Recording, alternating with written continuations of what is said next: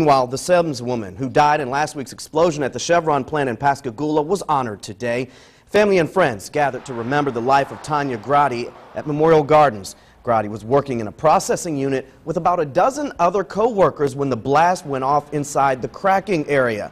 The explosion sparked a massive fire. The cause of that explosion and subsequent fire are both still under investigation.